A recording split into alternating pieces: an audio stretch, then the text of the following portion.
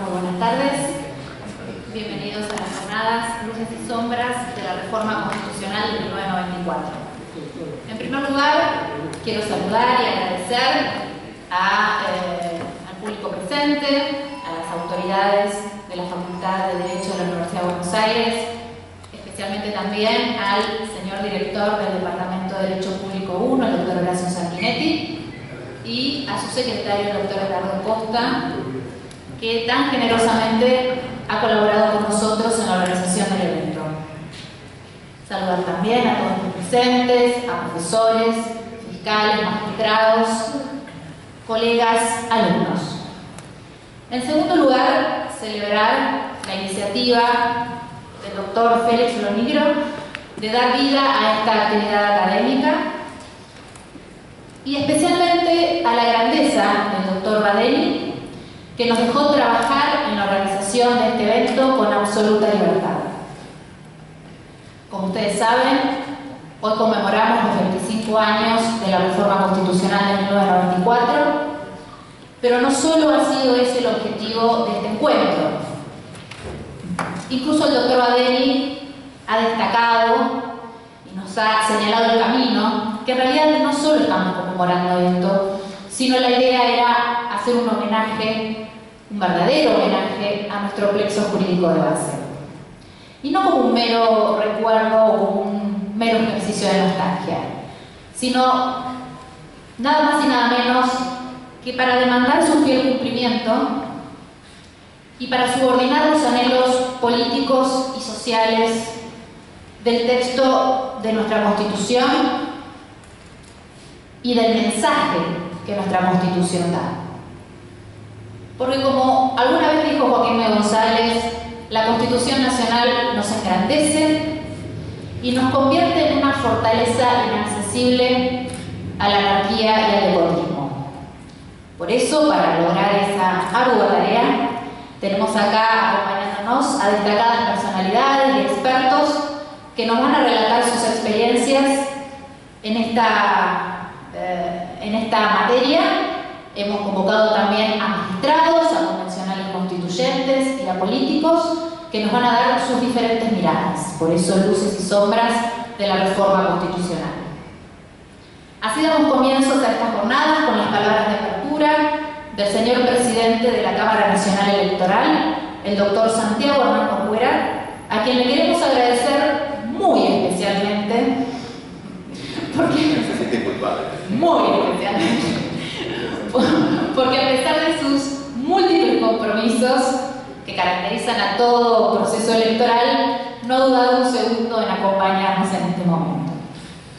El doctor Santiago Corcuera es abogado de la Universidad de Buenos Aires, egresado de la Escuela Nacional de la Magistratura de Francia, juez de la Cámara Nacional Electoral desde el año 2001, actualmente, como dije, preside dicho tribunal. Anteriormente fue secretario general del Consejo de la Magistratura y secretario de la Corte Suprema de Justicia de la Nación, profesor de Derecho Constitucional en la Universidad de Buenos Aires y autor de diversas publicaciones sobre temas constitucionales y político-electorales. Doctor, cuando. Muchísimas gracias, gracias Paula, gracias al doctor Maderi muy especialmente eh, y la verdad es que me honra estar en estas jornadas otra parte acompañado de ilustres actores del proceso constitucional. En realidad, eh, cuando el doctor Badeni tuvo la generosidad de convocarme, yo lo primero que pensé es qué podía aportar en esta mesa, en esta jornada, y la verdad es que creo que puedo decir muy poco, sobre todo estando acompañado por quienes están. Ahora bien, lo que sí me pareció que valía la pena era enmarcar nuestra reforma constitucional en un debate político que se inició ya desde el restablecimiento de las instituciones democráticas en la hecho. Porque indiscutiblemente allí ya había una demanda de reforma constitucional que se vio indiscutiblemente plasmada en lo que todos recordamos como el Consejo de Consolidación de Poderes. En aquel momento el presidente Alfonsín tuvo la visión de empezar a esbozar esta discusión y por otra parte también establecer un diálogo abierto con la oposición en aquel momento con, eh, Antonio Cafiero, muy particularmente, que eh, fue de algún modo rotando en sus roles. ¿Por qué digo rotando sus roles? Porque quienes en realidad empezaron siendo, sin ninguna duda, oficialismo en los inicios de este debate, terminaron siendo oposición al momento de su verdadera concreción. Y ese diálogo, ese diálogo institucional que por cierto llevó muchos años, no fue breve, no fue un diálogo que estuvo abstraído de la realidad y de la compleja realidad fue por otra parte eh, amalgamando la temática sobre la cual existía un verdadero. En ese punto, eh, la sanción de la ley 24309, que todos recordaremos como la portadora del pacto de coincidencias básicas, definió indiscutiblemente el sentido de esa reforma constitucional que se venía dialogando ya hacía casi 20 años.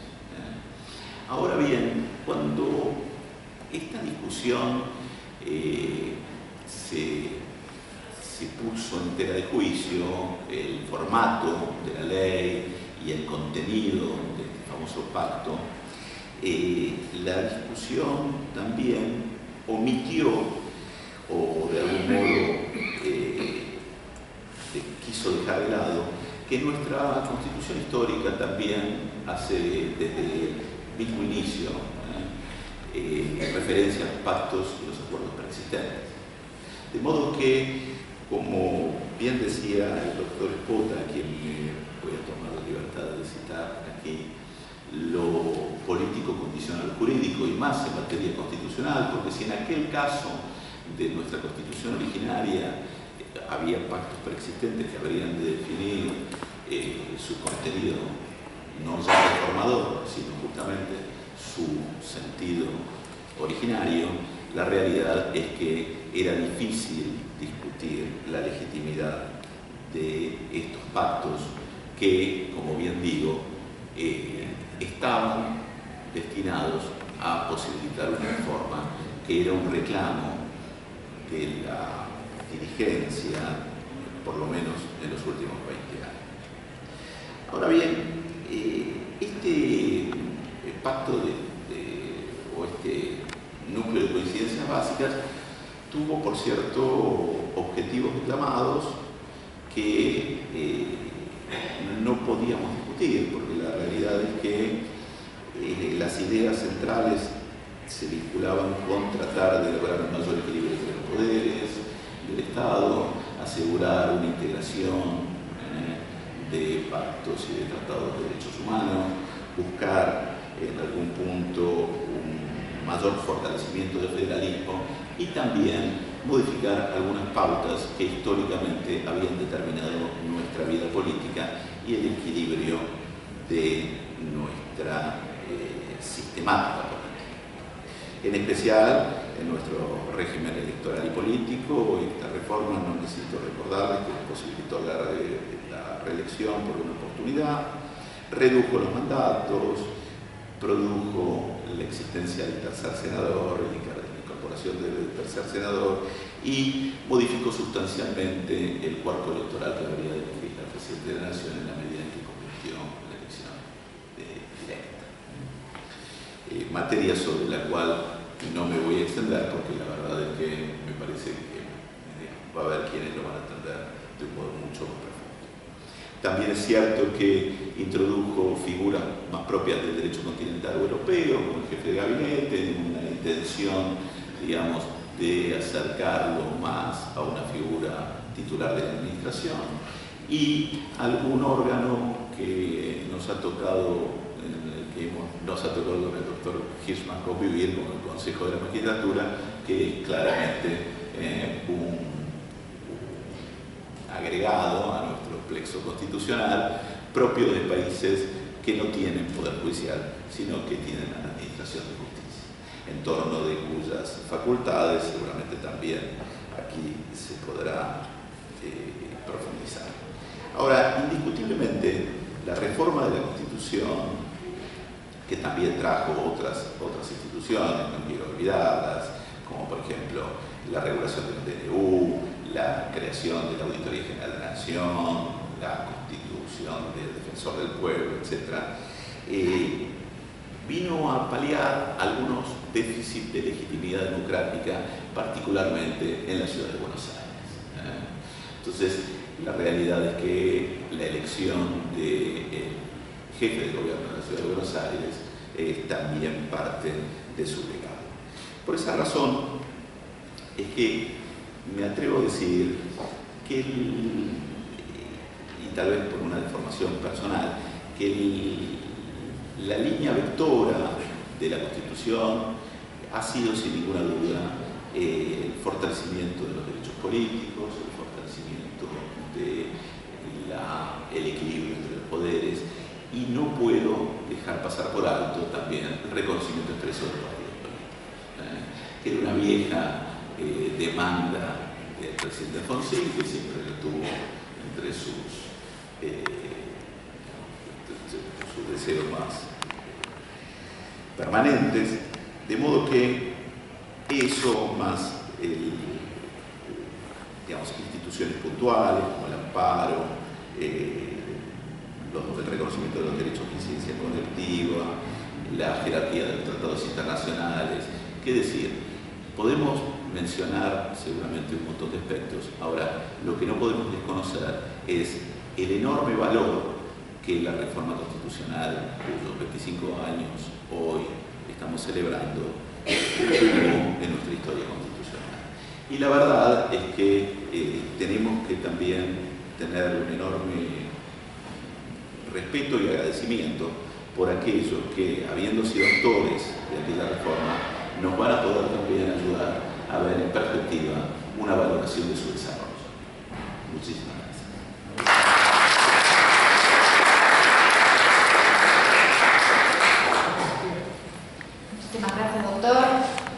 como siempre. Eh, pasamos ahora a las palabras del doctor Eduardo Menem. El doctor Eduardo Menem es abogado y doctor en Derecho y Ciencias Sociales por la Facultad de Derecho y Ciencias Sociales de la Universidad Nacional de Córdoba. Entre algunos de sus antecedentes profesionales y académicos, podemos citar que fue presidente de la Asociación de Abogados de la provincia de La Rioja en el periodo de 1973-1974 presidente del Consejo Profesional de Abogados y Procuradores de la provincia de La Rioja, periodos 1978-1980 y 1980-1982. Profesor honorario, Universidad Nacional de La Rioja, 1997. Doctor honoris causa, Universidad Nacional de La Rioja, año 2000. Doctor honoris causa, Universidad del Pacífico, Asunción, Paraguay, 1998. Respecto a su actuación parlamentaria, fue senador nacional en representación de la provincia de La Rioja durante los periodos 1983-1989, 1989-1998, 1998-2001 y 2001 a 2005. Presidente provisional del Senado de la Nación, elegido en 1989 y reelegido durante 11 periodos consecutivos hasta el 1 de diciembre de 1999. En ejercicio de las funciones de Presidente de la Nación, por ausencia de su titular por varios periodos alternados que sumaron 241 días entre el 11 de diciembre de 1991 y el 7 de octubre de 1998 en su carácter de presidente provisional del Senado. Vicepresidente del Senado de la Nación, elegido para el periodo 2000-2001. En ejercicio de las funciones de vicepresidente de la Nación, por renuncia del titular de ese cargo, entre el 11 de diciembre de 1991 y el 8 de julio de 1995 en su carácter de presidente provisional del Senado de la Nación. Presidente de las siguientes comisiones permanentes del Senado de la Nación, Asuntos Administrativos y Municipales, periodo 1983-1989, Bicameral de la Defensoría del Pueblo, 1994-1995, Relaciones Exteriores y Culto del Senado de la Nación, 1989-2003. En el transcurso de su mandato como senador nacional, presentó más de 400 proyectos de ley, de comunicación, de declaración y de resolución con un elevado porcentaje de aprobación. Entre los principales proyectos de su autoría, convertidos en ley, pueden mencionarse justamente la ley número 24.309, declarando la necesidad de la reforma parcial de la Constitución Nacional. Respecto a su actuación en la Convención Nacional Constituyente reunida en Santa Fe, Paraná, en 1994, fue Convencional Nacional Constituyente en representación de la provincia de La Rioja, presidente de la Convención Nacional Constituyente del 25 de mayo al 24 de agosto de 1994, autor de diversos proyectos, destacándose los que fueron aprobados y convertidos en norma constitucional, como el artículo 86, instituyendo el defensor del pueblo de la nación y la cláusula transitoria primera por la que se ratifican los derechos de soberanía de la República Argentina sobre las Islas Malvinas, Georgia del Sur y Sándwich del Sur entre algunas de las múltiples distinciones y condecoraciones recibidas, podemos citar las siguientes. Orden al Mérito Civil, grado de Gran Cruz, Rey Juan Carlos I de España, 1984. Orden al Mérito por Servicios Distinguidos, grado de Gran Cruz, Gobierno del Perú, 1990. Orden al Mérito de Chile, grado de Gran Cruz, 1992. Gran Orden al Mérito por Servicios Distinguidos, Diplomacia, Gobierno de Corea del Sur, 1992. Medalla Nacional de la Orden del Cedro, Repúblico del Líbano, 1998. Premio CONEX, designado como una de las cinco mejores figuras de la década, rubro, instituciones, comunidad de empresa, disciplina legisladores, 1998.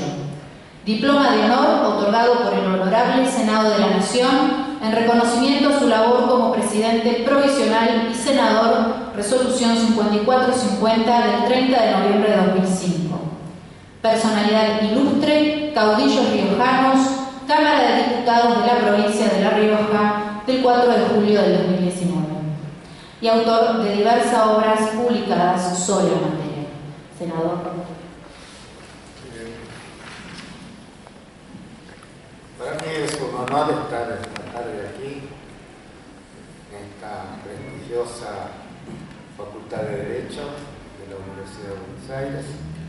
Les quiero agradecer a los que tuvieron la gentileza de invitarme, al doctor Gregorio Badeni, al doctor Lonegro que fue en contacto, a Paula. Eh, realmente yo no sé cuánto tiempo voy a tener para hablar, pero lo que pasa es que cuando hay mucho que decir es más difícil, ¿no? Eh, voy a comenzar con una afirmación. A lo mejor algunos no, la compartan.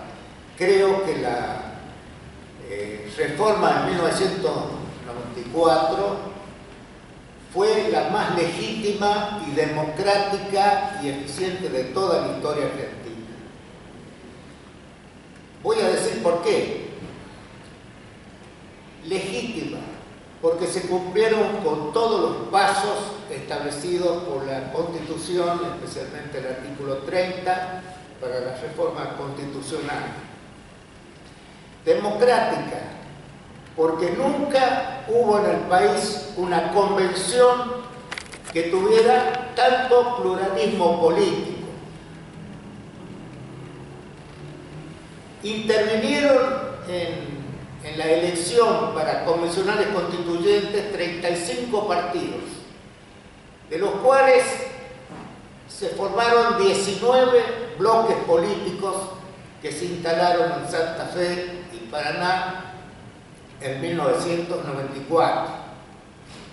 Quiero decir que eh, nuestra historia constitucional ha sido muy azarosa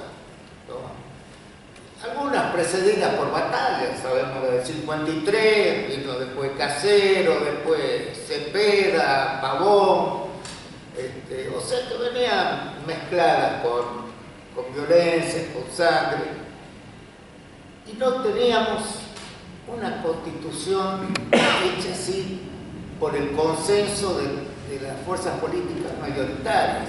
Yo decía que es como que hemos exorcizado en nuestra historia constitucional que no podíamos hacer una reforma por consenso y que termine en paz y con el juramento de todos los convencionales el 24 de agosto de 1994.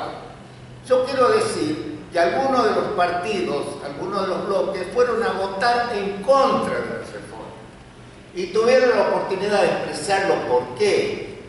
Inclusive tuvimos que afrontar juicios, llegó hasta la Corte Suprema algún, algún juicio que se inició por la forma de votar el, núcleo de coincidencias básicas, hubo un proyecto de resolución que daba por terminada la convención.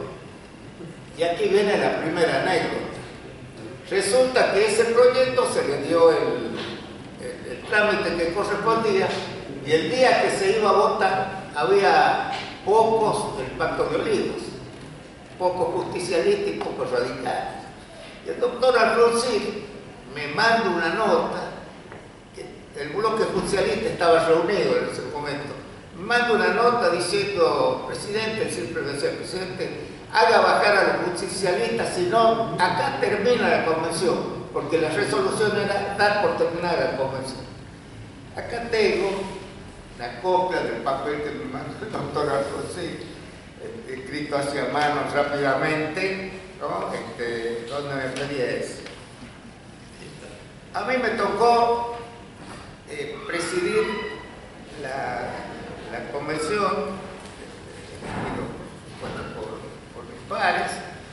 Eh, quiero dar eh, algunos datos, pero para terminar con el tema de la, historia, digamos, bueno, la del 53 este, fue hecha así la presencia de Buenos Aires y los convencionales eran elegidos un poco a dedo, eh, la de 60 fue después de la batalla, ya sabemos que fue aprobada por una convención ad hoc, la del 66 y, la del 98 fueron reformas menores, una referida a, los impuestos y la otra al número de, ministerios y a la, forma de elegir los diputados de acuerdo a la, base electoral.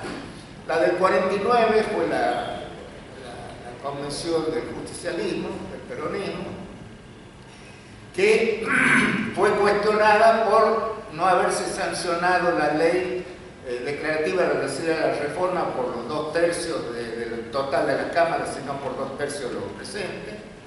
Eh, esto motivó que eh, el gobierno militar que le siguió, que derrotó al peronismo, por un bando militar dejó sin efecto la constitución que prácticamente era una nueva constitución, y por un, la misma, por un mismo bando militar convocó a la convención de 1957 con la profesión del peronismo, o sea que tampoco era un dechado de democracia. Eh, bueno, la del 57, por supuesto, hubo abandono, portazos, que era característica, o sea que no era por consenso, solo el artículo 14 bis, que fue importante porque se incorporaron de los derechos sociales de segunda generación, pero tenía, tenía ese problema. La constitución, la reforma de 1994, se siguió con todos los pasos. Eh, la ley 24.309, que fue la que declaró la necesidad de la reforma, se inició, esto es algo que muchos ignoran, se inició en el Senado, un proyecto del bloque justicialista Teníamos los dos tercios del total Eh, pero ¿qué pasó? A último momento, uno de los senadores del socialismo se echó atrás. Entonces nos faltaba un voto. ¿Qué es lo que hicimos? Tuvimos que hablar con una de las otras fuerzas políticas, con el doctor Leopoldo Bravo, quien este, aceptó votar la reforma, pero con algunas condiciones, en fin, él no estaba de acuerdo con la eliminación de los colegios electorales, por ejemplo, uno de los temas, y sacando algunas otras cosas. Bueno, se aprobó, pasó a diputados, en el interín se celebra el Pacto de Olivos eh, entre el radicalismo y el peronismo, una historia muy larga que no, no, viene al caso, pero se venían manteniendo conversaciones entre los dos partidos, se formaron comisiones, yo presidía la de la, comisión de periodistas de, nuestro partido, este, y tuvimos reuniones hasta que se llegó al Pacto de Olivos. Eh, algunos radicales dicen que tuvieron que hacerlo porque si no la reforma iba a avanzar lo mismo, que ellos querían incorporar nuevas cosas. Bueno, se, reunió, se reunieron los presidentes, se hicieron, este, participamos del primer pacto que se hizo en la residencia de Olivos y después lo completamos con otro pacto en la Rosada. La palabra pacto por ahí cae mal, porque hubo pactos y pactos.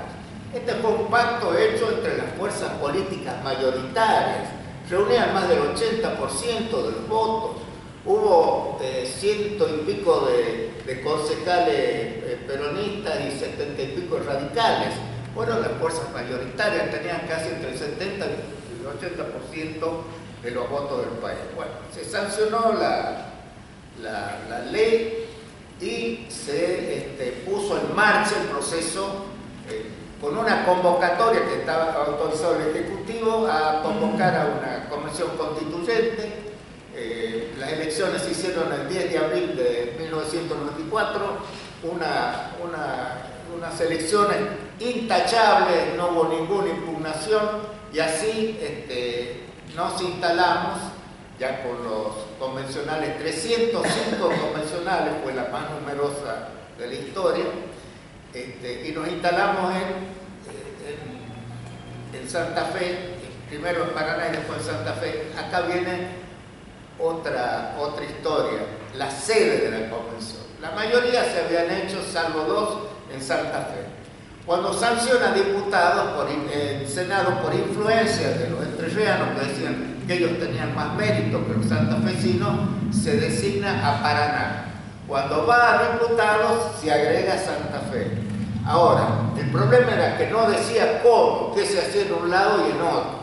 Como ya había trascendido que yo iba a presidir la convención, yo digo, no voy a permitir que se haga una, victoria, una batalla campal allá en, la sede. Entonces los invité a La Rioja, al gobernador Reutemann y al gobernador Moine, los invité a que se pongamos de acuerdo qué se hace en cada lado y nos pusimos de acuerdo y lo sometimos después a la comisión que lo aprobó. ¿Cómo era? La inauguración en, Paraná, Teatro 3 de Febrero, Paraná. Eh, los plenarios en la Universidad del Litoral, en el Paraninfo de la Universidad del Litoral. Las comisiones que se crearon, fueron 11 comisiones, funcionarían algunas en Santa Fe y otras en Paraná. La clausura en Paraná y el acto de juramento en el Palacio San José, eh, que había sido residencia de Urquiza. Todo se cumplió de acuerdo a, ese programa. Se nos dieron 90 días, se cumplió, yo lo hice lo posible, no quería excederme ni una hora del plazo que nos habían dado, porque entre las acechanzas que tuvimos, que fueron muchas, aparte de aquellas acciones judiciales y administrativas, eh, se había dicho que la convención se iba a declarar soberana y que íbamos a sesionar todo el tiempo que, fuera posible, que no íbamos a respetar los plazos, que el justicialismo iba votar las reelecciones y se iban a levantar, que este, o íbamos a poner en marcha de nuevo la constitución de 1949, una serie de barbaridades. La verdad es que no tuvimos buena prensa, hubo muchos, muchos ataques, no digo buena prensa del periodismo, sino que hubo ataques de, sectores políticos, en fin, hasta inventaron que se había anclado, se iba a anclar el Rosario, el puerto del amor para, para diversión de los comerciantes, una cosa realmente de, de loco. Bueno, eh, ahora, ¿cómo, ¿cómo funcionó la convención? Eh, se formaron, como dije anteriormente, 11 comisiones. Una era la labor parlamentaria que yo presidía y tenía todos los presidentes del bloque. Y bueno, después había otra de peticiones y reglamentos, que era de 24 miembros, y las otras de 50 miembros, de acuerdo a la ley 24309, de acuerdo a esos temas. Había dos de federalismo, una del núcleo de coincidencias básicas, había otra de los organismos de, control, este, de, nuevos derechos y garantías. Ahora, ¿cómo funcionaba? Se presentaban los proyectos, yo los derivaba a la comisión que correspondía, se reunía la comisión, hacía los dictámenes, en mayoría y en minoría, por supuesto, se discutía, y después pasaba a la comisión de redacción que les daba el toque final y era lo que se ponía a, discusión en los plenarios. O sea que llevaba ese trámite. Primero las comisiones y después la comisión de redacción y después el plenario. A propósito, les digo que se hicieron 36 plenarios, donde se discutía finalmente el tema. Ahora, me conversaba antes de entrar aquí, ¿cuál era lo que más eh, se discutió? Fue el reglamento, precisamente, por la forma de votación del núcleo de coincidencia básica, que muchos decían, eh, no podemos votar en conjunto porque estoy de acuerdo con una cosa y con otra no, pero el, el oficialismo, digamos, de la convención y la ley 24 1309, decían que había que votar en conjunto. ¿Por qué? Porque era un nuevo equilibrio republicano. O sea, decían que tenía que ver una cosa con la otra. Sí, porque afectaba a los tres poderes del Estado y uno de los propósitos perseguidos por la reforma era crear un nuevo equilibrio republicano. ¿Cómo se creaba ese nuevo equilibrio?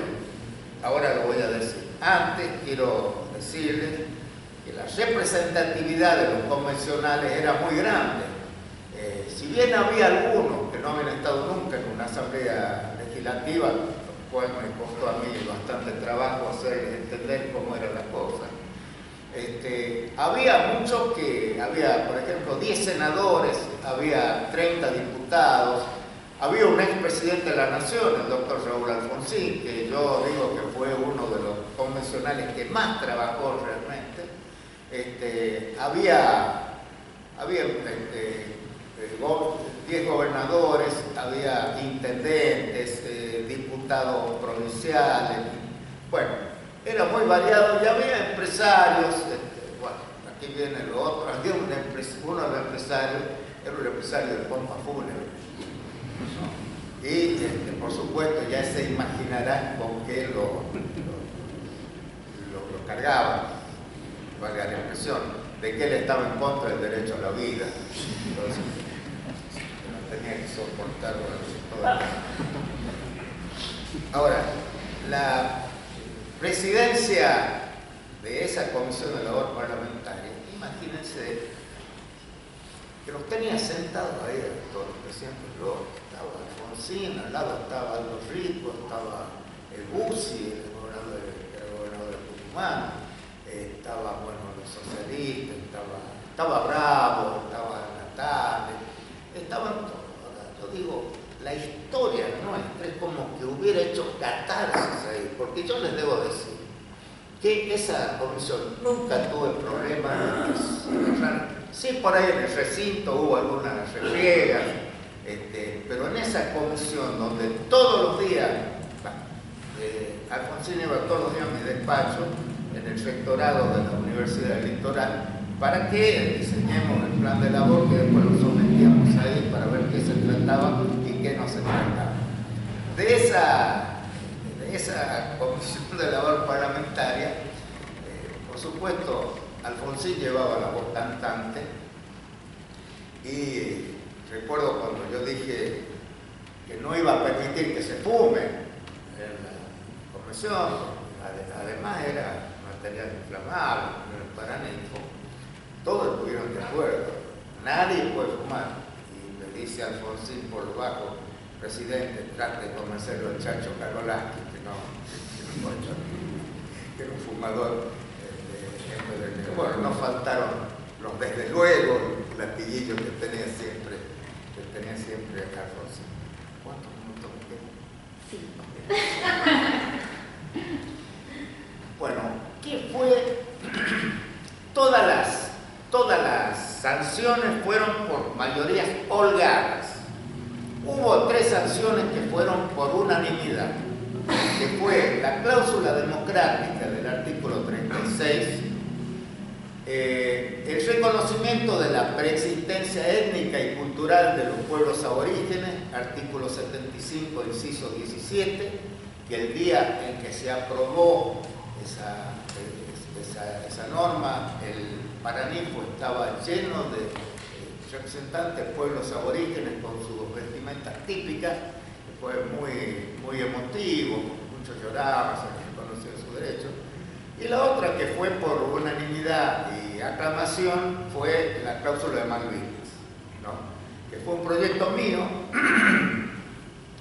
que cuando llegó a tratamiento, el 18 de agosto, Alfonsín propuso que yo sea el único informante, estaban todos de acuerdo, y que haga el discurso desde el estrado presidencial, cosa que no se utilizaba, el presidente no fue bueno, pero se, apartaron el reglamento y de ahí dije un discurso que terminó con todo el, eh, la convención del PRI aplaudiendo, había algunos veteranos de Malvinas ahí que se emocionaron mucho, esa fue aprobada por aclamación.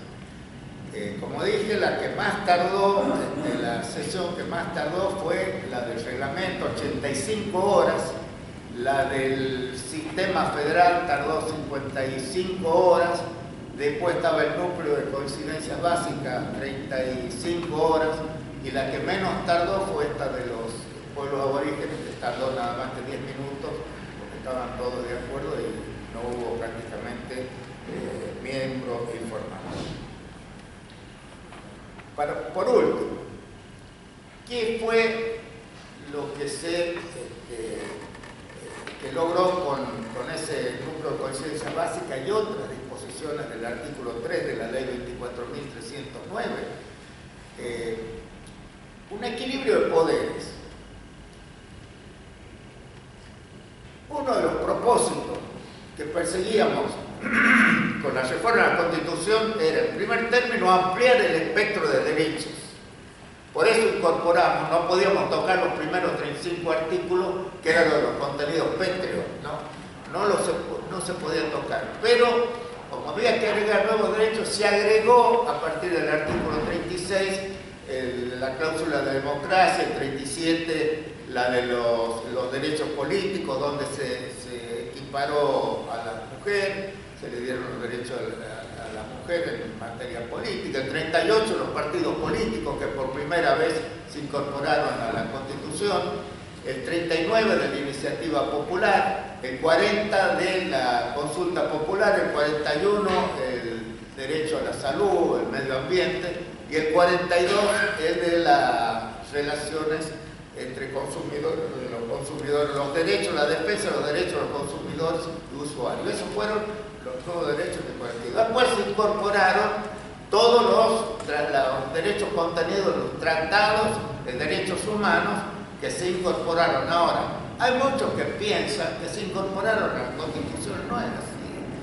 Lo que se hizo fue ponerlos a la par, se les dio jerarquía constitucional y son complementarios de los derechos eh, de la Constitución. Algunos se, oponían porque con el artículo 33, el de los derechos no, no enumerados, que fue incorporado por la Convención de 1860, eh, ahí estaban todos, no hace falta incorporar porque ahí están los derechos no numerados, pero nosotros consideramos que había que traer esos, esos derechos.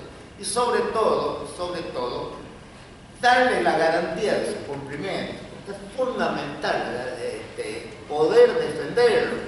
Por eso en el artículo 43 se incluyó el habeas corpus, se incluyó el habeas data, eh, se incluyó la acción de amparo y también el derecho al secreto de la cuenta de información periodística. Eso fue la garantía. Y bueno, eh, yo creo que la, declaración de los derechos del ciudadano, del hombre y del ciudadano de Francia de 1787, decía que una sociedad que no tiene garantía de los derechos y no tiene división de poderes, no tiene constitución. Nosotros creo que hicimos culto de garantía de defensa de los derechos y además lo de la división de poderes que les quería explicar porque no tengo tiempo, cómo hemos atenuado el presidencialismo, cómo hemos ampliado los derechos y el funcionamiento del, poder legislativo y cómo hemos eh, mantenido, el, reforzado el régimen republicano de gobierno con el tema de la responsabilidad del funcionario, por eso incorporamos los artículos, los, organismos de control, defensor del pueblo, Auditoría General de las Naciones, incorporamos también el Ministerio Público, eh, cómo eh, establecimos el, equilibrio de los, poderes, como digo, con la atenuación del presidencialismo, los mayores derechos al Congreso, que se amplió el funcionamiento, un nuevo sistema de sanción de las leyes, y el Poder Judicial, este, con el sistema de nombramiento de los jueces, con mayores garantías, acuerdo, acuerdo del Senado por mayoría especial de los miembros de la Corte, y este, audiencia pública eh, para el nombramiento, incorporación del Consejo de la Magistratura, jurado de enjuiciamiento, que podrán o no estar de acuerdo, pero yo estuve en los dos sistemas. Yo estuve en el sistema donde para echar un juez había que reunir a la Cámara de Diputados que hacía la acusación y el Senado actuar como juez, un procedimiento muy pesado. Ahora se, eh, seleccionan los jueces, los inferiores van a interna, a vinculante, al Poder Ejecutivo. Podría hablar mucho más. Lo que sí quiero decir es que le hemos dado a la reforma del 94 un valor axiológico inmenso. Los valores que hemos incorporado, la dignidad, la, igualdad, igualdad de oportunidades de trato, este, progreso con democracia, justicia social, en fin, toda una serie de que le dan una dimensión axiológica a, nuestra constitución poniéndola desde mi punto de vista en avanzada con respecto a cualquier otra constitución del mundo. Lo que sí, y esta vendría a ser la sombra, pero no ya de la constitución, sino que no se han cumplido con muchas de las normas que están en la constitución, pero por responsabilidad del Congreso no se han cumplido.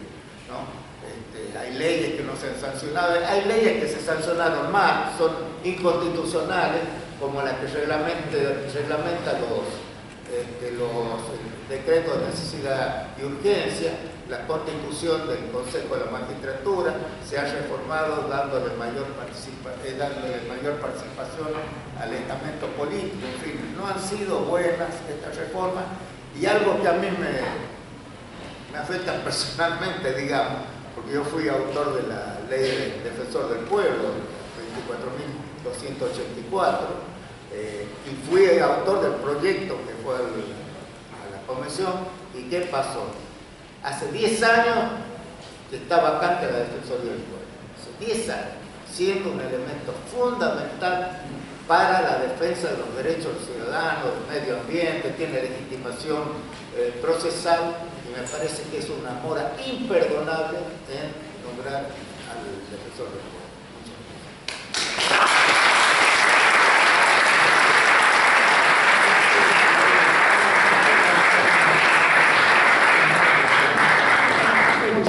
gracias, senador, por sus lucidas palabras. Eh, ahora es el del doctor Alberto Bianchi, abogado egresado de la Universidad Católica Argentina en 1978, doctor en Derecho por la Universidad de Buenos Aires en 1988, con tesis recomendada al Premio Facultad. Miembro titular de la Academia Nacional de Derecho y Ciencias Sociales de Buenos Aires. Miembro titular de la Academia Nacional de Ciencias de Buenos Aires Premio Academia Nacional de Derecho y Ciencias Sociales de Buenos Aires en 1991. Premio Academia Nacional de Derecho y Ciencias Sociales de Córdoba en 2012. Premio CONEX en el área Derecho Constitucional en 2016. Profesor de Derecho Constitucional profundizado en la Universidad Católica Argentina y en la Universidad Austral de Buenos Aires. Y autor de 19 libros y más de 400 artículos sobre temas de derecho administrativo y derecho constitucional. Doctor Muchas gracias. Buenas tardes a todos. Quiero comenzar con un sincero agradecimiento al doctor Gregorio Badeni por esta invitación, al doctor Federico Libro, también por ella, y agradecer también estar en compañía de todos ustedes, y en particular de este panel tan prestigioso y estar acá al lado de quien fuera el presidente de la Convención Reformadora a 25 años, no es un hecho menor, así que también agradezco ese detalle. Eh, ¿Se imaginan que después de la tan colorida y tan interesante relato histórico que ha hecho el doctor Menem, las cosas que yo pueda decir sobre el derecho, pues yo soy abogado, profesor de derecho, no me digo la política, pueden resultar un poco deslucidas. De modo tal que voy a tratar de que sean lo menos posible. Eh, yo diría que si tuviéramos que clasificar las reformas constitucionales, diría que hay reformas de dos tipos.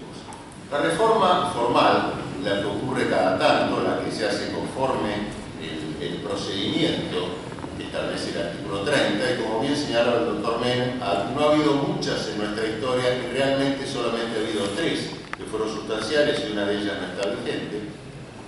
Aunque, si bien no está formalmente vigente, muchas de sus instituciones después fueron trasladadas al derecho argentino, eh, o por vía del 14 bis, o por vía de la ley de hidrocarburos que recogió después lo que decía el antiguo artículo 40 de la reforma del 49 sobre la propiedad de los recursos naturales, que después fue modificado por la Constitución o por la reforma del 94 en el 124. En fin, eh, estas son las reformas formales. Pero al lado de las reformas formales que ocurren cada tanto, están las reformas cotidianas que se hacen de y, y estas no digo que sean más importantes que la primera, porque no lo son necesariamente, pero son a veces mucho más sutiles, que son las reformas que hace la legislación, porque al interpretar el intérprete puede modificar o le puede dar un sentido, como, como bien recordaba recién el doctor Menem, la ley, la ley que regula los DNU no es una buena ley, pero implica en cierto modo decirle o hacerle decir a la Constitución lo que la Constitución a lo mejor dice en otro sentido, lo mismo pasa con el Consejo de la Magistratura, y por supuesto la interpretación que hace la Corte Suprema. Y la Corte Suprema en esto tiene una palabra final que no es menor. Piensen ustedes cómo ha interpretado la Corte Suprema a lo largo de su historia las cláusulas constitucionales y cómo muchas veces una cláusula constitucional es interpretada en un sentido completamente distinto al, al de otra Corte Suprema. Pongo un ejemplo muy simple. El artículo 99, inciso cuarto, que se refiere a la edad límite de los jueces, fue interpretado en dos momentos distintos por la Corte Suprema, que con, con, con formación distinta, de dos maneras totalmente distintas. En una se dijo que la cláusula era nula y en la otra se dijo que no. Y esto impactaba fuertemente en el Poder Judicial. De modo tal que creo, creo que hay dos clases de reformas Hoy estamos recordando una efeméride importante en relación con la última reforma constitucional que ha habido, pero lo cierto es que debemos ser conscientes que esta, esta, estas reformas constitucionales que ocurren cada tanto dan lugar luego a reformas permanentes, sutiles y mucho menos perceptibles que ocurren todos los días. ¿Y por qué hago, por qué hago esta clasificación? Porque, como también señalaba el doctor Menem y, y, lo dijo también el doctor lo cierto es que muchas veces una cosa es escribir algo en la Constitución y después es cómo eso, cómo eso se refleja en la práctica. ¿sí? No es solamente escribir en la Constitución, porque uno lee la Constitución, ¿no? yo la leo frecuentemente y digo, qué bonita, qué linda que es la Constitución, cuántas cosas dice. Ahora, esto mismo se refleja en la práctica, ocurre en la práctica. Y voy a poner, voy a poner, voy a tomar un tema, tiempo no me permitiría tomar, no voy a tomar un tema pensando en cuáles fueron uno de los móviles que tuvo la reforma de la Constitución en el año 94. Como bien se recordaba recién, desde el año 83 en adelante había toda una, una suerte de movimiento pro reforma de la Constitución. Yo me acuerdo que en, algún momento de los años 80, no me acuerdo ahora, ahora exactamente cuándo, escribí un artículo que se llamaba La curiosa supervivencia de la Constitución de 1853. Había pasado más de 140 años o 130 y pico de años, y la Constitución del 53, salvo la reforma de 1860 y la, y la, y la, y la Constitución del 49 que había sido derogada, prácticamente no había sido tocada en su sustancia. Porque había habido dos reformas, la del 63, la del 60, 66 y 98, que habían tocado aspectos cosméticos de la, de la Constitución, pero no habían entrado al centro, a, lo profundo de la Constitución. Entonces, yo decía, qué raro que nadie, ¿no? en un mundo en donde todo el mundo quiere reformar la Constitución, qué raro que no se reforme. Finalmente vino la reforma porque esto era un, clamor general. ¿Cuál era entonces el, el, uno, uno de los objetivos? Uno de los objetivos era limitar las facultades del Poder Ejecutivo. Se decía por aquel entonces que el Poder Ejecutivo en la Argentina era muy fuerte, que había que limitarlo, que tenía demasiadas atribuciones. En realidad, en realidad esto, esto que en ese momento se le atribuía al presidente en ejercicio, lo cierto es que esto era una característica típica del Poder Ejecutivo en la Argentina. En primer lugar, me atrevería a decir que si uno mira las instituciones políticas en el mundo, todos los poderes ejecutivos son fuertes. Pensemos en el presidente de Francia, pensemos en el primer ministro inglés, pensemos en cualquier, en el presidente de los Estados Unidos, todos los poderes ejecutivos son fuertes. Pero es cierto que en la Argentina el, Poder Ejecutivo ha sido tradicionalmente fuerte, ha tenido una autoridad especial. Sería muy largo explicar por qué, pero esto es lo cierto. En, ese momento, entonces, en el año 94, se pretendía poner el acento en la limitación del Poder Ejecutivo y la Constitución, la reforma del 94, puso, puso algunas cláusulas, o se escribieron algunas cláusulas en ese sentido. En primer lugar, se creó el jefe de gabinete, que en cierto modo, si bien tiende a proteger la función presidencial, porque es un poco el que para las balas que están disparadas contra el Poder Ejecutivo y descarga sus tareas porque tiene a su cargo la administración pública, lo cierto es que descentraliza esa función. Eh, el, Consejo de la Magistratura también es una forma de descentralizar el Poder Ejecutivo, porque de una discrecionalidad absoluta en la elección de los jueces, el Consejo de la Magistratura, a través de un procedimiento, elige a tres, una terna, y, esa, y de esa terna es de donde el Poder Ejecutivo puede elegir a los jueces. Estoy hablando de los jueces de las instancias inferiores, la Constitución, aunque esa palabra nunca me gustó mucho, porque parecería que fueran jueces inferiores, y hay camaristas, nada menos así, pero lo cierto es que así lo llama la Constitución, esta, esta libertad eh, se mantiene en el Poder Ejecutivo en relación con los jueces de la Corte, bien que está limitada porque el, acuerdo del Senado hoy día es un poco más exigente y las audiencias públicas son más exigentes de lo que era la Constitución del 53. También, también hay, otras, hay otras facultades del Poder Ejecutivo que se han limitado, la autonomía de la Ciudad de Buenos Aires ha limitado las facultades del Poder Ejecutivo, antes el Poder Ejecutivo era, era el, jefe inmediato y local de la capital federal y el intendente municipal, en ese momento una suerte de ministro que él nombraba y removía, hoy esto ya no sucede. En fin, ha habido varias, ha habido varias este, eh, cláusulas que han ido o, pretendido limitar. El artículo 76 sobre la delegación legislativa también limita o pretende limitar fuertemente y Quizás la última y más conflictiva de estas cláusulas fue la del 99, inciso tercero. Ahí tengo, tengo la impresión, y el doctor Menem me corregirá, creo que yo no fui convencional, no participé de, los debates, por supuesto, ni tampoco asesoré en la convención en ningún momento, pero lo cierto es que tengo la impresión que se encontraban frente a un dilema.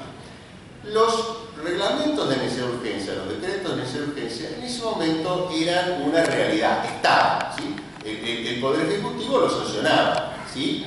pero lo sancionaba desde el comienzo de la historia. Santiago Corcuera tiene un libro muy ilustrativo sobre esa cuestión y ha hecho una recopilación muy prolija de todos los reglamentos de esa urgencia que han dictado todos los presidentes argentinos, creo que desde Rivadavia o Saavedra en adelante. De modo tal que eh, cuando en ese momento presidente se le achacaba que dictaba mucho decretos es cierto, pero en realidad había, había una tradición argentina en este sentido.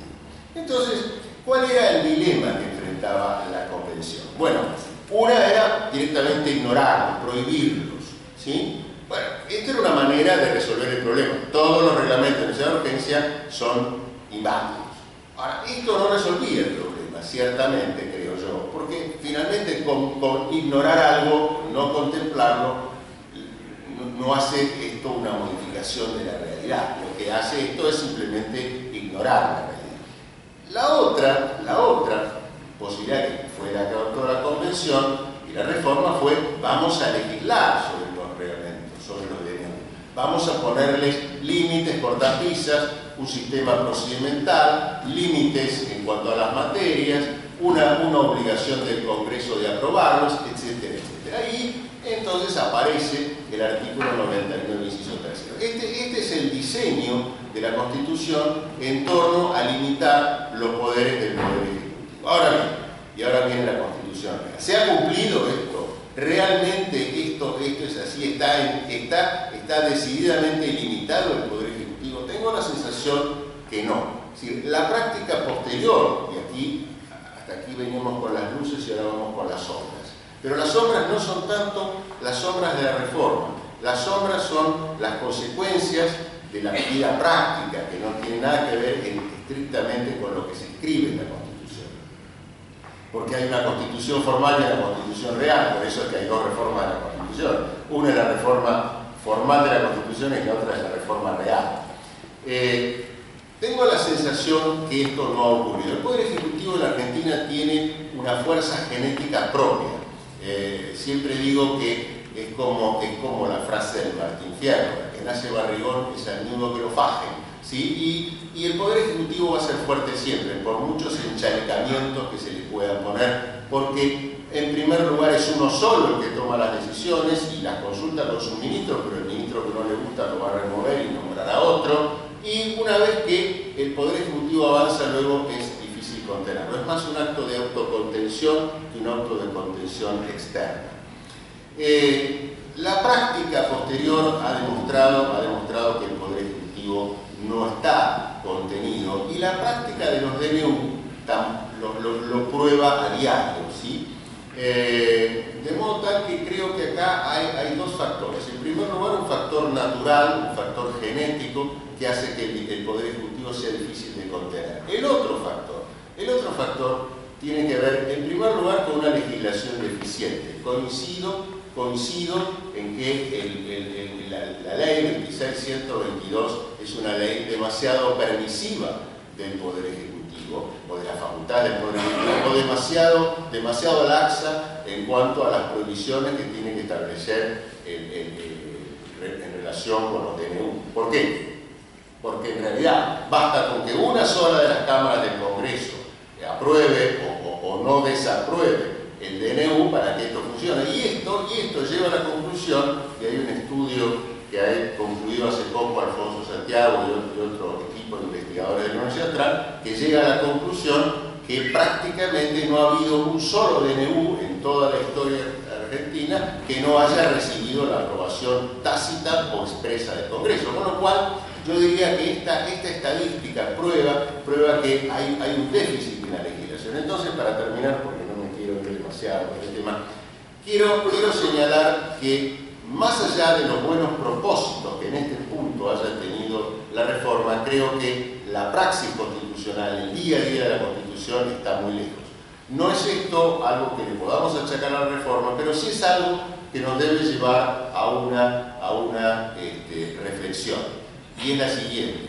Eh, luego de quedar entusiasmados e iluminados por lo que hizo una reforma, que es una tarea ciclópea, como acaba de escribir el doctor Menem, porque lleva horas y horas de consenso, horas de... Horas de, recuerdo que el, cardenal Zamoré, cuando vino acá a la Argentina con motivo del conflicto este, internacional que teníamos en ese momento, decía que eh, eh, hacía falta, para llevar adelante ese conflicto, hacía falta un dedal de sabiduría, un balde de experiencia y un mar de paciencia. ¿sí? Porque sin esas tres condiciones, y creo que en una convención constituyente algo de eso debe hacer, creo que la paciencia que hay que tener para lograr los consensos es algo que no sé si todos.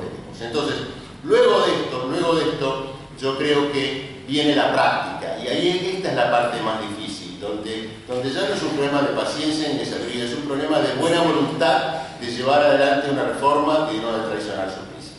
Muchas gracias.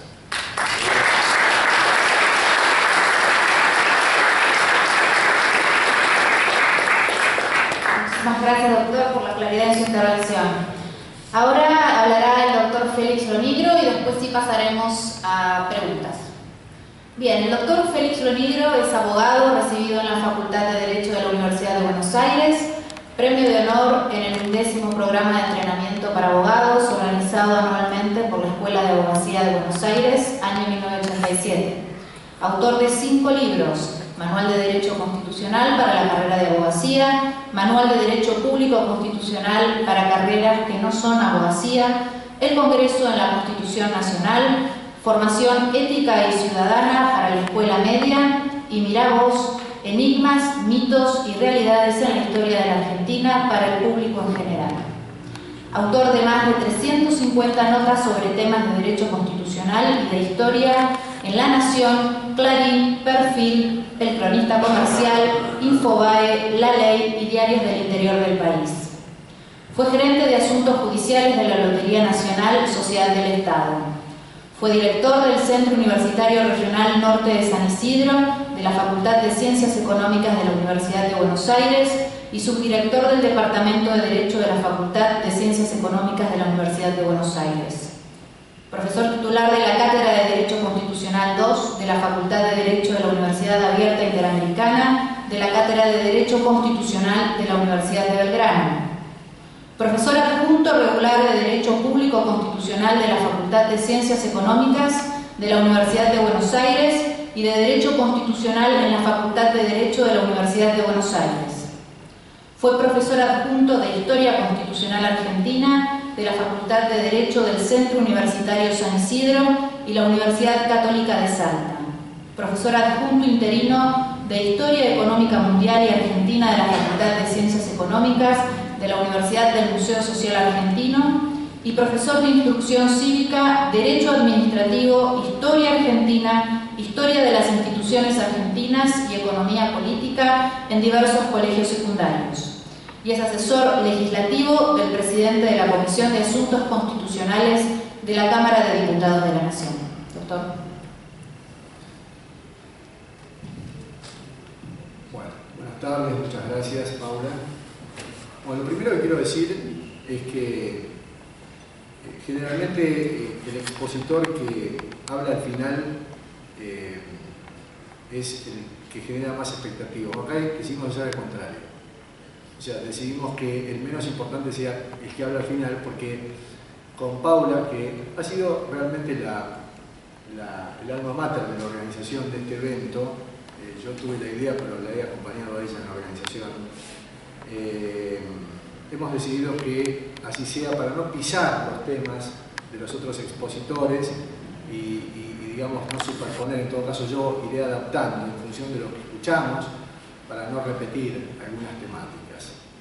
Eh, el objetivo de esta jornada, eh, además decir también que es un orgullo eh, formar parte de este panel con este, personajes a quienes admiro de lo intelectual realmente además afecto en lo personal, que es lo más importante. el objetivo de esta jornada está centrado en las luces y sombras de la reforma del 94, la cual se cumplen 25 años, pero además intenta hacer también un homenaje a este texto constitucional, a este instrumento de organización política del país, en este caso de la Argentina, como lo es la Constitución Nacional. Y realmente eh, convocar a una jornada en la que el centro de atención es el texto de la Constitución Nacional y que se genere una significativa convocatoria, casi me pone al borde de la emoción, porque la Constitución Nacional no es convocante.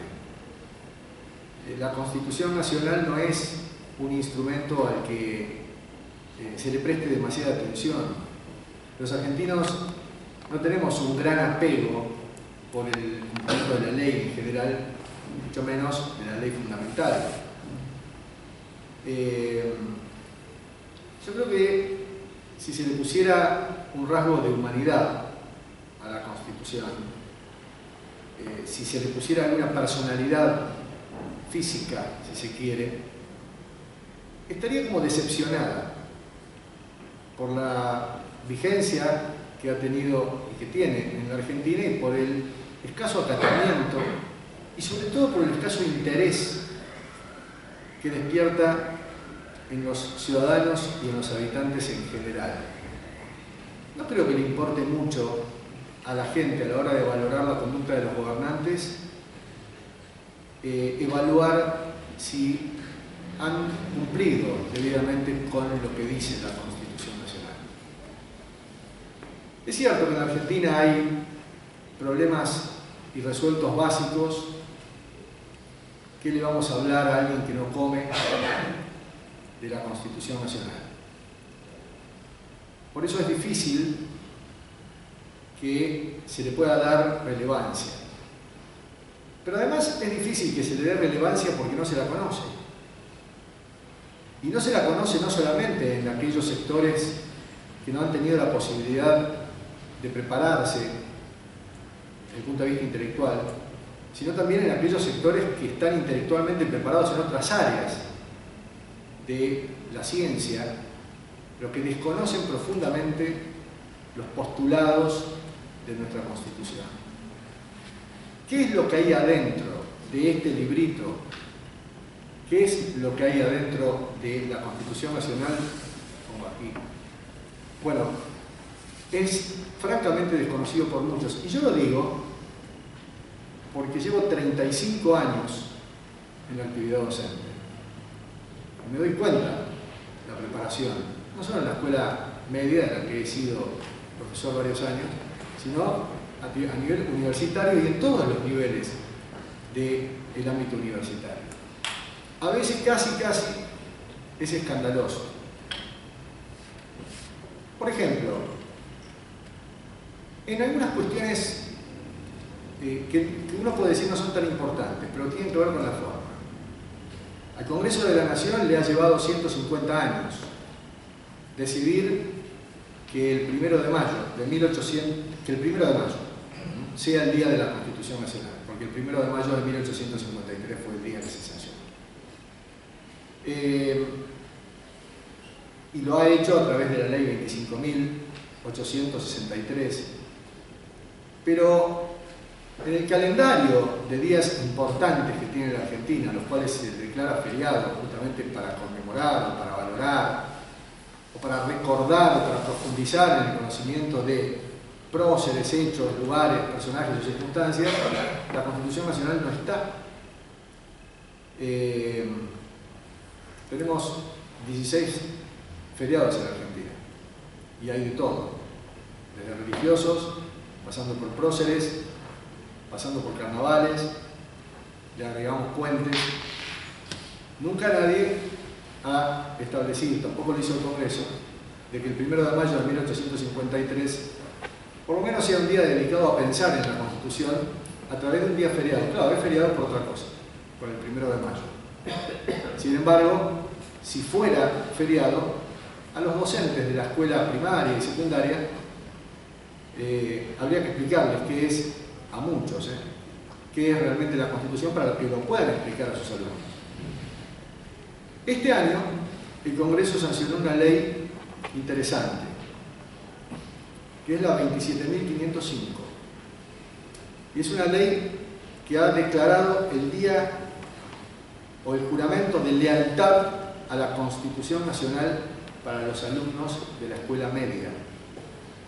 Lo que dice esa ley es que al día siguiente hábil del 1 de mayo, que es el día de la Constitución Nacional, se le debe tomar juramento a los alumnos del tercer año acerca de, su lealtad, o sea, la que juren lealtad a la Constitución Nacional y a sus postulados. Y eso delante de la bandera. No está mal, porque para hacerlo jurar va a haber que explicarles qué es y cuál es la importancia de su conocimiento. Esta ley es nueva, es la 25 de este año, se ha sancionado. Pero también hay que recordar que la misma Constitución Nacional le exige al presidente de la Nación, en su artículo 93, que cuando va a tomar juramento de su cargo, lo haga observando y haciendo observar a la Constitución Nacional. Y lo mismo pasa con los legisladores, cuando prestan juramento, por lo menos según la Constitución, deben jurar, eh, dirigir su accionar de conformidad con las pautas establecidas en la ley fundamental. De manera que eh, este desconocimiento o esta, esta, apatía generalizada que hace que eh, no se evalúe a la hora de votar, venimos de una jornada electoral, eh, si las autoridades han cumplido o no con las pautas constitucionales, eh, es un poco aquello que uno de la docencia en esta materia quiere combatir.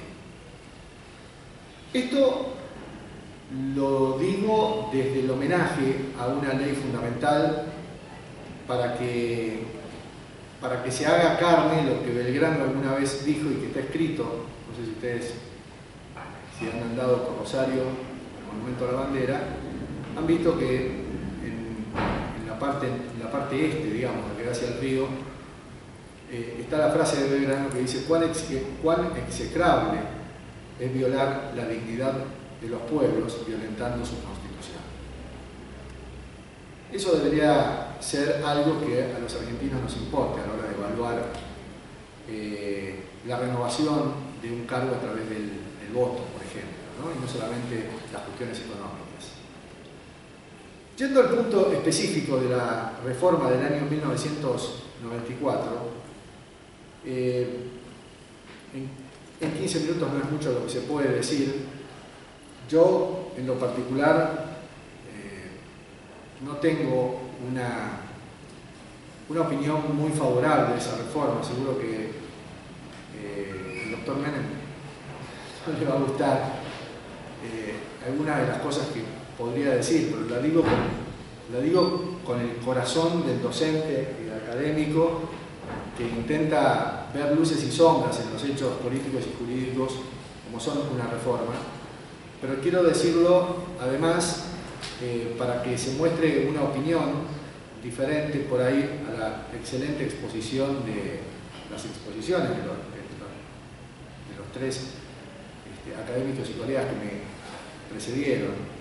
Pero fíjense, eh, la reforma de la Constitución es un hecho político-jurídico, político-jurídico-institucional. Eh, ¿Y por qué es un hecho político cuando en realidad se trata de una ley fundamental? Porque es una ley que organiza política y jurídicamente a la nación. Y es inescindible. Es un hecho, la reforma de la, Constitución el ejercicio del poder constituyente derivado es un hecho político y es un hecho jurídico. Eso no está mal, pero el origen de cualquier reforma puede transitar también, o puede ser de carácter político o jurídico.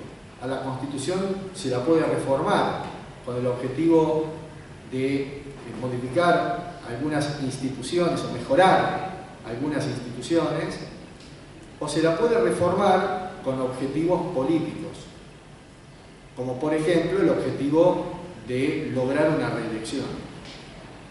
Yo creo que el momento adecuado para reformar una constitución es cuando un presidente recién inicia su primera gestión, en la Argentina tiene dos gestiones consecutivas, como se sabe, de cuatro años, y es ahí cuando uno podría decirse esta reforma no tiene móviles políticos sino que tiene móviles, que no tiene móviles personales.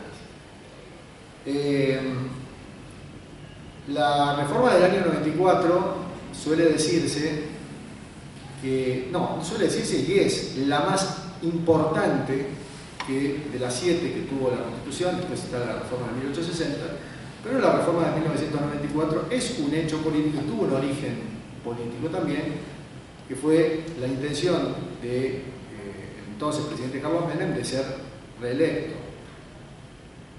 Y yo creo que es una reforma que más allá de las intenciones que han sido seguramente excelentes, he tenido por el doctor Alfonsín una profunda admiración. Pero sin embargo, creo que allí eh, se equivocó, me parece, en algunas cosas, en algunos contrapesos que le quiso poner eh, a la reelección de Menem Y la intención fue excelente, pero por ejemplo creo que el sistema republicano se ha visto debilitado. Por ejemplo, suele decirse que el presidencialismo se ha eh, atenuado, o sea que desde la reforma del 94 tenemos un sistema menos presidencialista. Algunos dicen no, es más presidencialista, porque se le ha dado al presidente la facultad de ejercer atribuciones del Congreso y al Congreso la facultad de delegarle sus atribuciones al presidente de la Nación. Yo creo que el presidencialismo es el mismo antes y después de la reforma. el presidencialismo es un sistema de gobierno que se caracteriza por tres o cuatro ejes centrales. Uno de ellos es el desdoblamiento de la jefatura de Estado y de Gobierno, eh, o la, unificación de la jefatura de Estado y Gobierno en una persona. Eso eh, se mantiene, es el presidente de la nación, en, la, eh, en el depósito de la soberanía tanto en los legisladores como en el presidente, a diferencia de los sistemas parlamentarios, en un sistema presidencialista se elige, el pueblo elige al presidente y elige también a los legisladores, a los legisladores, a los legisladores y también al presidente. Solo se puede, no hay moción de censura para el presidente de la nación, solo se lo puede echar a su cargo a través de un procedimiento rígido que es el juicio político, de manera tal que el presidencialismo, antes y después de la reforma del 94, sigue teniendo las mismas características.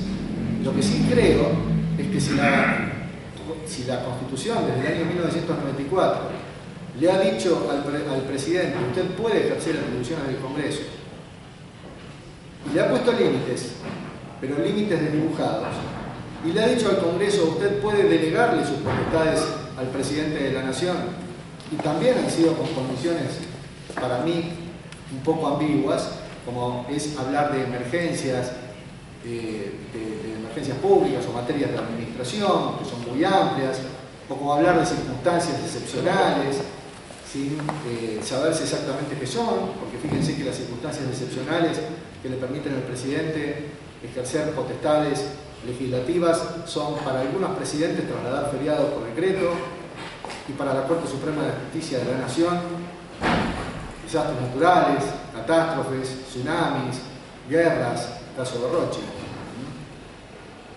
Entonces ahí, entre un criterio y el otro, está el océano Atlántico, donde uno puede definir dónde quiere poner el, el eje de las circunstancias excepcionales.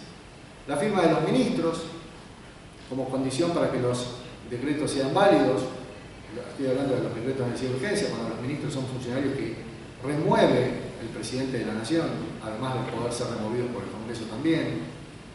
La intervención del Congreso sin que la misma Constitución Nacional defina cuál es esa intervención, más allá de la Comisión Bicameral Permanente, pero luego es la misma Constitución la que le dice al Congreso, dicte usted la ley en la que defina su intervención en la aprobación de estos decretos, y entonces aparece la ley 26.122, que como decía el doctor Bianchi, dice o habilita al presidente a dictar decretos que luego con la aprobación de una sola Cámara se mantienen vigentes, con lo cual al Congreso, al presidente le resulta más fácil ejercer potestades del Congreso que al Congreso mismo.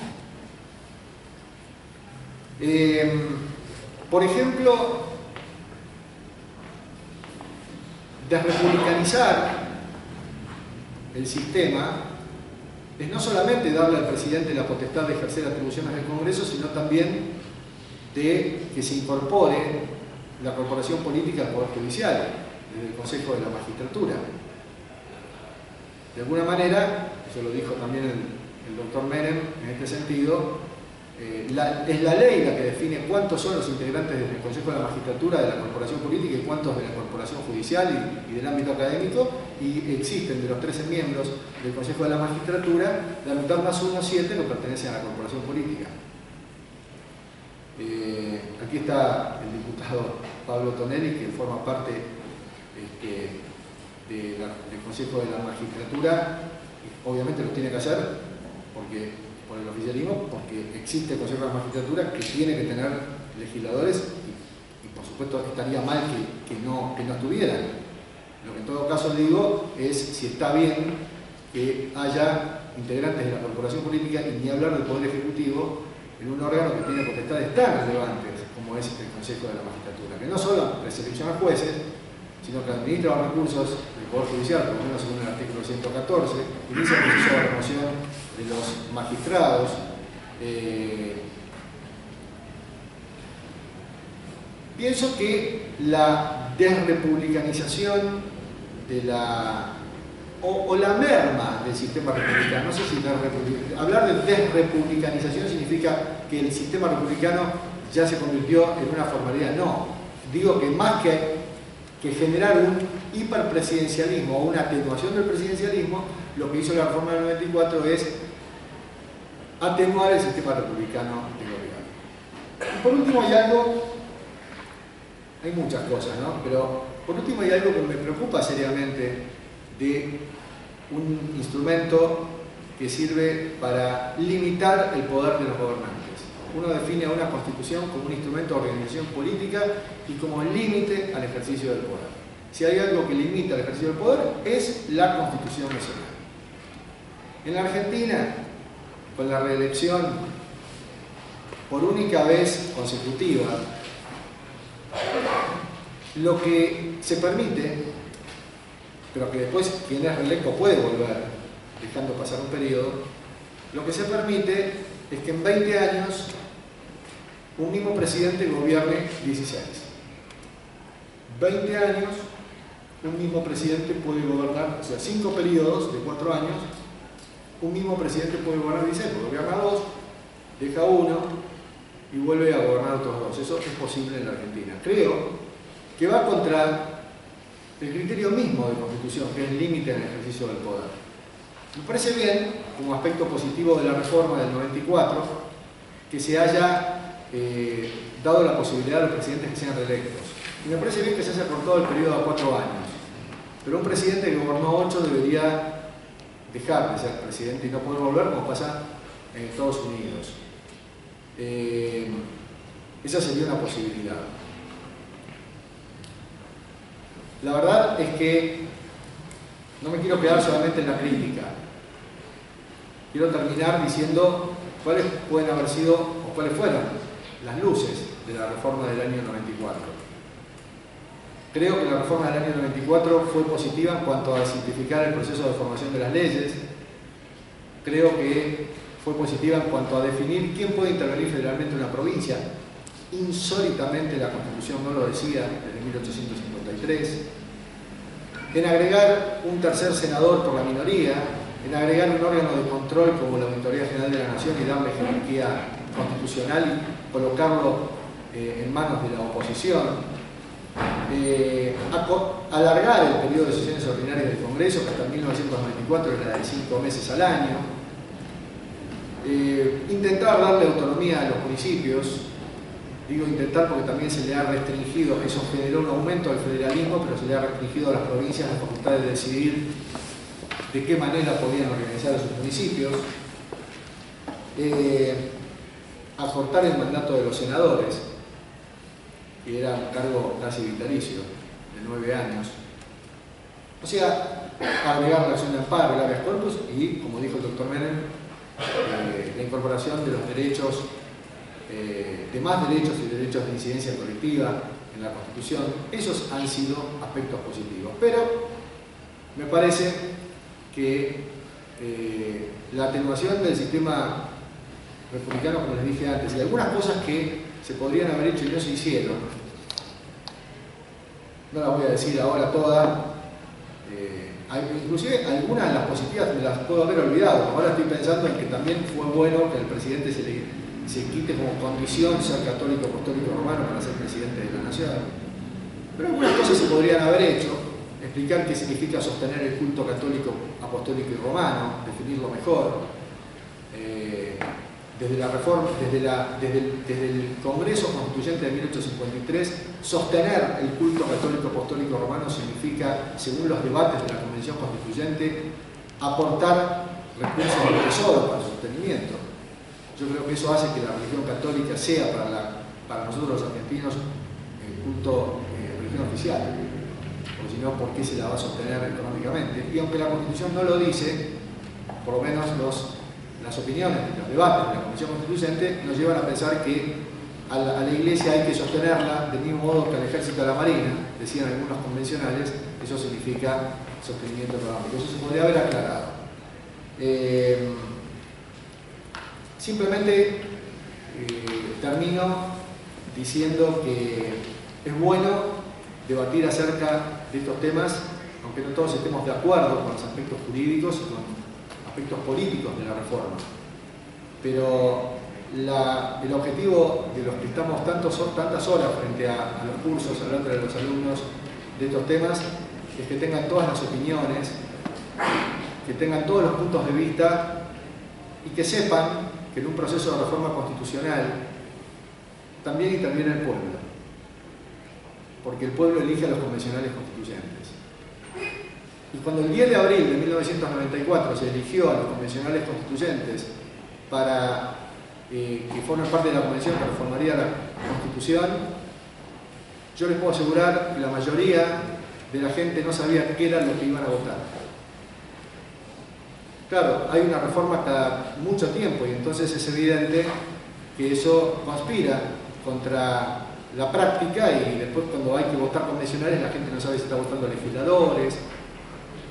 Por eso hay que inculcar cultura, hay que educar al soberano, como decía Sarmiento, y hay que tratar de que los alumnos de hoy o los jóvenes de hoy, que son los dirigentes de mañana, vean en la Constitución Nacional un instrumento importante cuya violación es grave y que constituya un elemento de evaluación cuando tienen que ejercer sus derechos cívicos. Este es el objetivo eh, que tenemos los docentes de esta materia y un poco también el objetivo que ha tenido o que tiene esta jornada de acercar la Constitución. Veo que hay muchos alumnos allí atrás y acercarle la Constitución a la gente, para que sea algo tangible y no simplemente una abstracción. Gracias.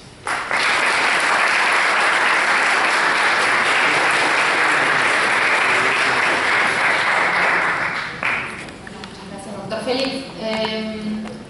Eh, ¿Alguna pregunta? ¿No? Sí, me pregunta al doctor ¿Cuáles serían para él, en su orden, los tres puntos más relevantes que tuvo la reforma de la Constitución para la tercera?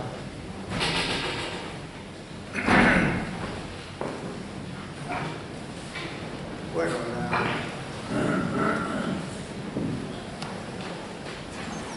los propósitos que inspiraron la reforma, yo creo que han sido cumplidos en la letra, aunque, como dice el doctor Lonillo, el Congreso no ha cumplido acabadamente con sus funciones al reglamentar algunas cláusulas. Pero, por ejemplo, en el sistema republicano, que el doctor Lormido dice que se ha desvirtuado o se ha menoscabado, yo le quiero hacer recordar lo siguiente.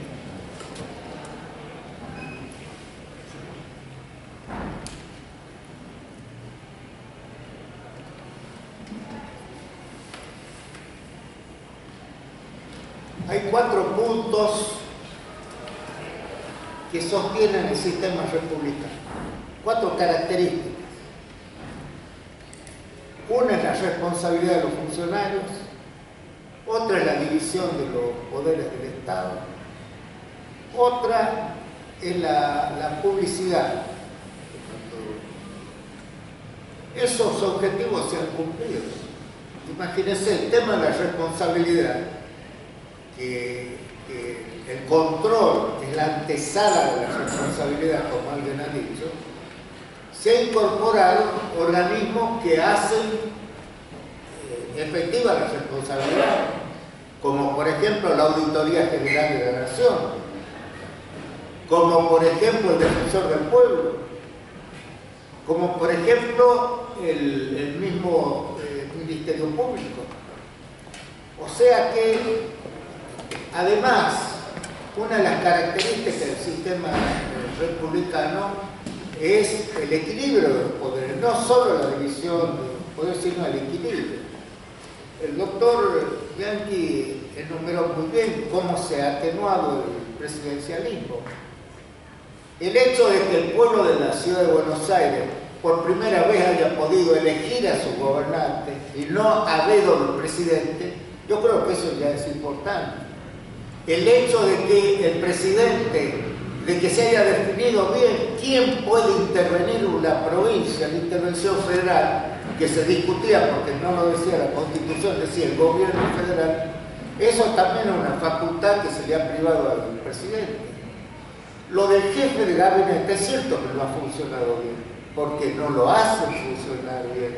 Porque el jefe de gabinete, y esto también es responsable del Congreso, el Congreso tiene la moción de censura para el jefe de gabinete y ha tenido motivos, porque hubo jefes de gabinete en los últimos tiempos que no han cumplido con una de sus obligaciones fundamentales, que es la de ir a rendir informes en las cámaras, una, un, un mes en cada cámara.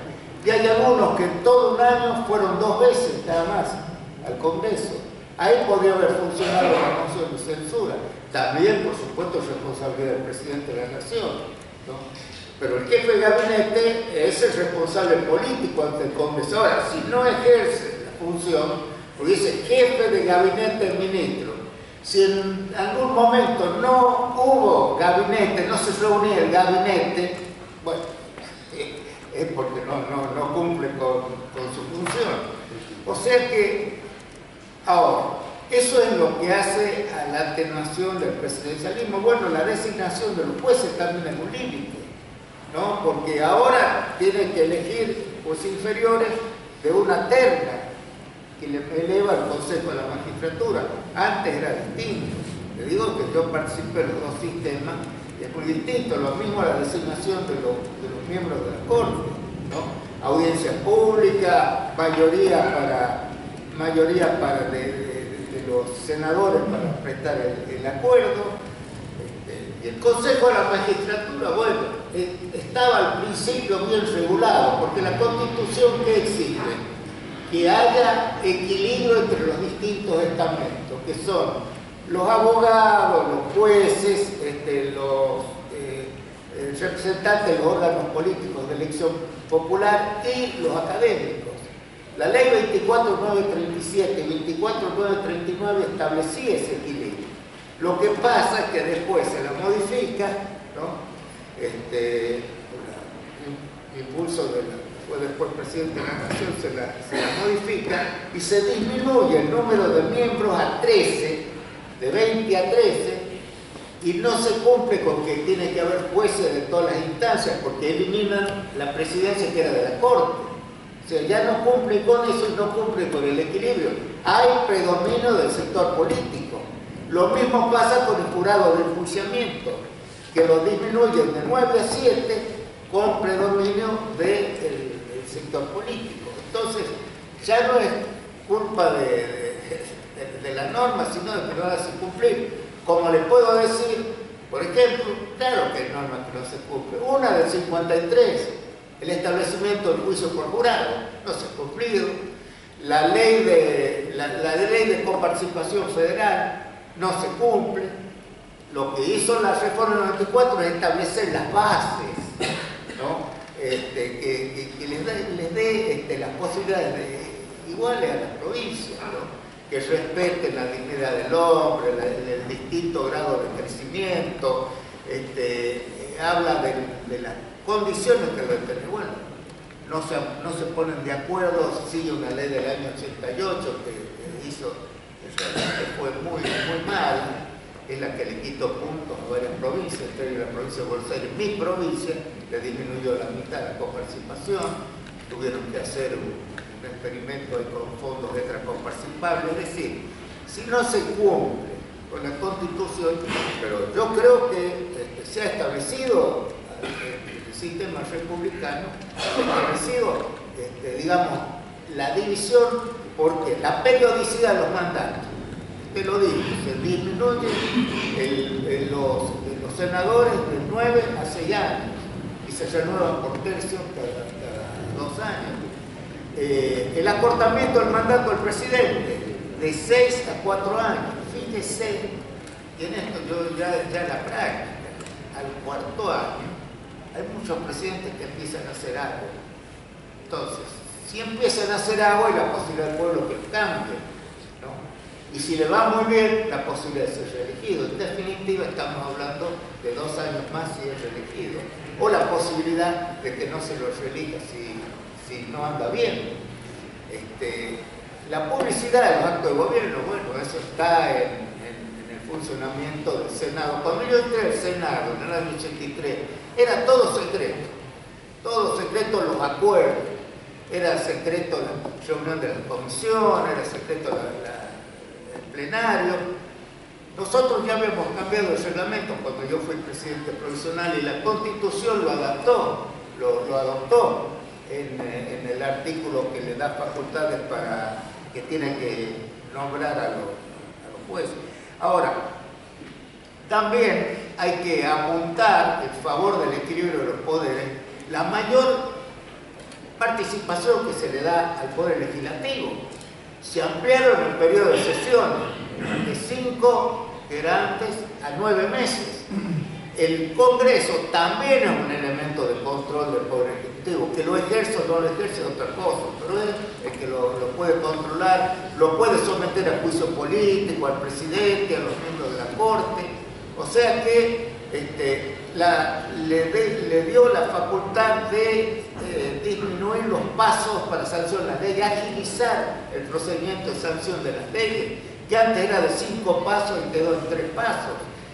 Le dio la facultad de que se apruebe en particular en una comisión una ley que ha sido aprobada en general por el plenario.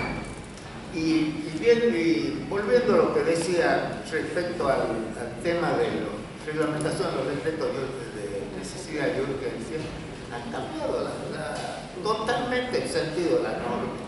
Antes se sancionaban y muchos decretos de urgencia sin ningún tipo de reglamentación. Aquí se los ha reglamentado. ¿Qué es lo que pasa? Que la ley se, se, modificó mal, se sancionó mal, porque lo, que era de esperar, y eso algunos de los convencionales constituyentes tenían ese, ese criterio, era que eh, sea sometido al Congreso, el decreto de de urgencia, que para tener vigencia tenga que ser aprobado por ambas cámaras. Cuando se lo regula, se regula al revés. No es, tiene que ser rechazado por ambas cámaras. Con esta contra, además, que mientras no se lo, no se lo apruebe o no se lo rechazo, tienen vigencia. Y se viola el artículo 82 que prohíbe la sanción ficta de las leyes. Imagínense, si se prohíbe la sanción ficta de las leyes, ¿cómo no se va a prohibir la sanción ficta de un decreto de necesidad de urgencia? O sea, que más allá... Ahora, el tema de la, reelección siempre ha sido una sombra, que, el motivo... Pero cuando usted analiza la reforma, se da cuenta que el tema de la reelección es un tema muy menor. Cuando se amplía tanto el espectro de los derechos, cuando se amplía la garantía, cuando se modifican eh, eh, normas eh, sustanciales para el funcionamiento del gobierno, de, la república, el federalismo. Nadie habla del federalismo, esta ha sido la constitución que ha acentuado el federalismo, con la atribución de los recursos naturales de las provincias, este, la, posibilidad de que hagan acuerdos internacionales, la posibilidad de que creen regiones, la, autonomía, la autonomía municipal, que también por supuesto comprende las provincias, se les ha dado, digamos, recién se ha hecho federalismo esta vez. Este, o sea que ese otro atributo, sistema representativo, el sistema representativo, ¿cómo se ha mejorado? Primero por la elección directa, es decir, ya no necesita el ciudadano que vaya a un a una convención, a una reunión de notables que tengan que elegir al presidente, lo elige directamente. Lo mismo en el caso de los senadores. Yo les quiero decir que la elección directa de los senadores es muy importante por las trampas que se hicieron en el, en el pasado. ¿Sabe qué hacían? Había legislaturas que ya tenían que terminar su mandato, entonces el que tenía poder en la provincia se hacía elegir senador con anticipación, por nueve años más. O sea que cuando asumía la nueva legislatura ya estaba elegido el senador. ¿Por qué? Porque lo elegía la legislatura.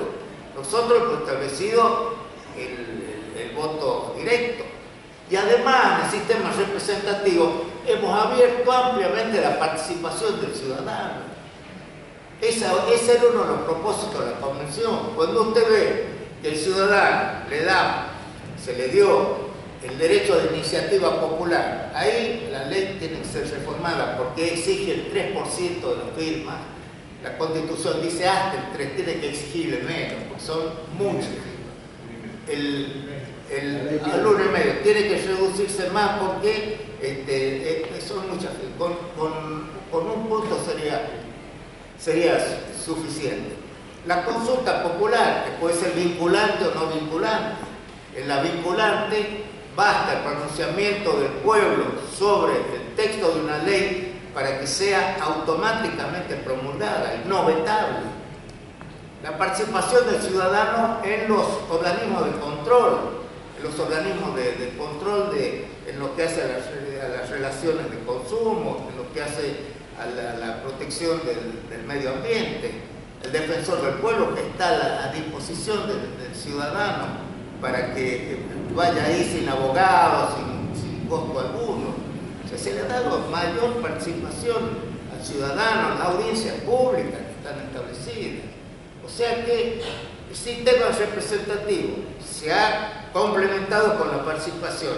El sistema republicano, como digo, la división de poderes, la periodicidad de los mandatos, los elementos de los, organismos de control y el federal que está elevado a su, a su máxima inclusive con la designación del tercer senador, porque entre las cosas que se decían este, en contra de la reforma, era que se había cambiado el presidente Menem, le había dado a Alfonsín el tercer senador, y que Alfonsín le había dado la reelección. Mentira total.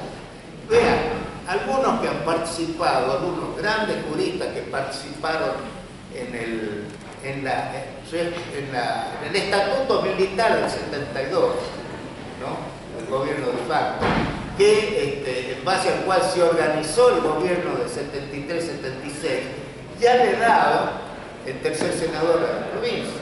Nadie se quejó. De 73 al 76 hubo tres senadores por cada provincia. Y ahí había reelección también. Nadie se quejaba por eso. Ahora, como se hace por consenso, ya saltan las, quejas. Pero realmente, hablar del tema de la reelección, a mí me parece que es muy pequeño para lo, grande que fue la, reforma constitucional, sobre todo el reconocimiento de los derechos y, de las garantías para hacerlos valer. muchísimas gracias, disculpen, pero por una cuestión de tiempo ya tenemos que dar comienzo al segundo panel.